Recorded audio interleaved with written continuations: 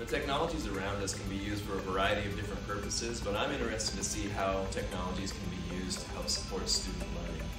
During the COVID-19 pandemic, teachers were really challenged to engage students, and the same thing happens every day in the face-to-face classroom. How do teachers engage students well with the use of technologies? Sometimes a teacher can use a technology and it can have a very bad effect, it can fall flat. And then other times a teacher can use the same technology in a different way and support student engagement and excitement. A lot of it comes down to the way that technology is used. Teachers can use technology just to present information, or are they maybe allowing teachers or their students to use the technologies to create something engaging that showcases their learning? So that's really what my research is about.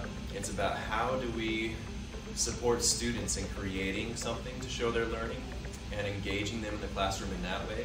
And also about what are the experiences and challenges that teachers have when they try to adopt technologies to support student learning.